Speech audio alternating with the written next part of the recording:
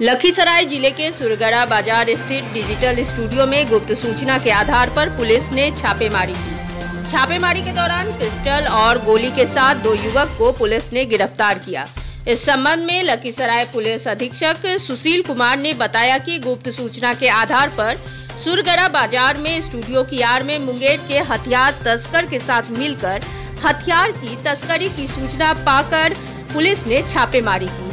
छापेमारी के दौरान अनिल कुमार व अरुण कुमार, दो अभियुक्त को चार पिस्टल, आठ मैगजीन, छह गोली और तीन मोबाइल के साथ पुलिस ने गिरफ़्तार किया। आज सुबह में एएसपी ऑपरेशन, श्री अमृतेश कुमार जो एएसपी ऑपरेशन लखीसराय हैं उनको सूचना मिली थी कि कुछ अवैध हथियार का धंधा सरगढ़ा बाज़ार में किया जा रहा है।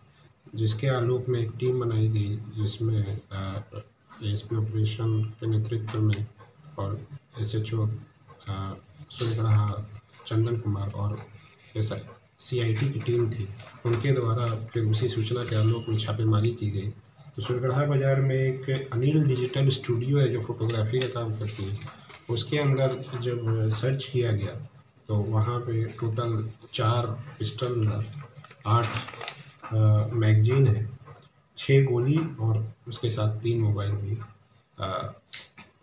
ये किया गया है जब्त किया गया है।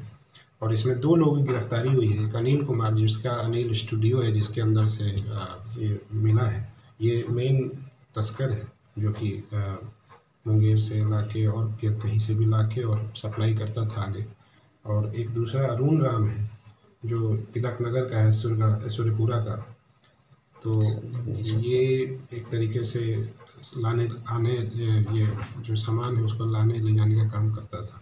ये दो लोगों को गिरफ़्तार किया गया है। इसके एक और मेन सरगना है जिसका हम लोगों ने आइडेंटिफाई कर लिया और इसके लिए छापेमारी की गई क्या लगता है सर कहाँ ही सप्लाई करते हैं?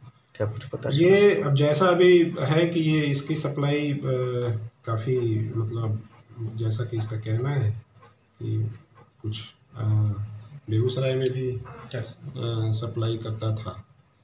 और कुछ लखीसराय में भी इसका है। कब से ये कारोबार चल रहा था सर? अब अभी तक तो अभी हम लोग इसका प्रिलिमिनरी इन्वेस्टिगेशन है इसके आगे कर रहे हैं। कब से चल रहा है इसके बारे में भी हम लोग सर्टन करेंगे कि क्या और कहाँ कहाँ से लाता था। ये सारी चीज़ों में अभी इन्वेस्टिगेशन चल रहा है।